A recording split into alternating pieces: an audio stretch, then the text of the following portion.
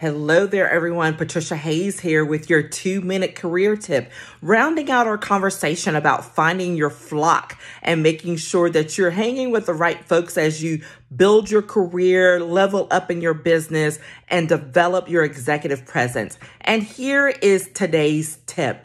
You must be open to receiving next level connections from unexpected places and opportunities.